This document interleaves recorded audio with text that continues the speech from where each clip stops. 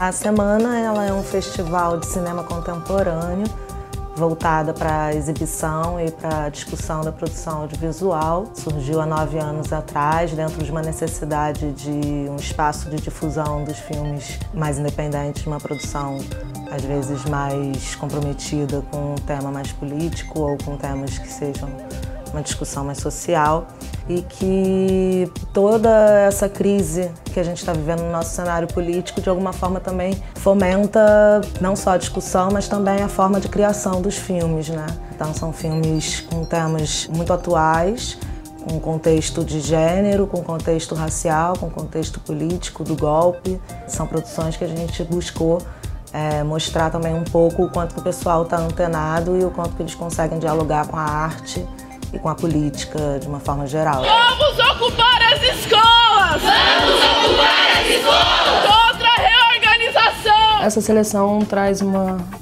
particularidade que eu acho que merece destaque, porque dá muita alegria pra gente que é o fato de ver filmes de lugares novos chegando como protagonistas, assim. E é curioso pensar que um vem de Contagem, em Minas, outro vem da Ceilândia, no Distrito Federal, e outro vem do Recôncavo Baiano. Um desses grandes destaques é o Arábia, que é nosso filme de abertura, acho que é um dos filmes que tem feito melhor carreira internacional. O filme do Adirley vem com uma expectativa grande também, novo, era no de Brasília.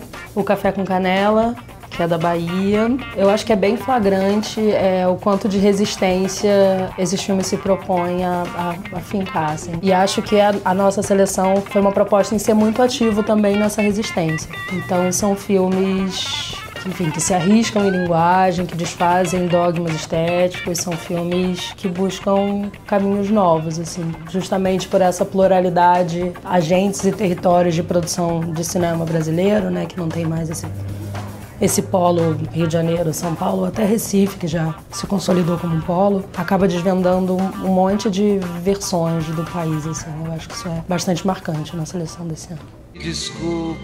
Faz mais de 20 anos que eu não pego num caderno e numa caneta. Para mim é até difícil de escrever. Mas vocês falaram que era para escrever alguma coisa importante da nossa vida nesse caderno. Então, eu queria ao menos tentar.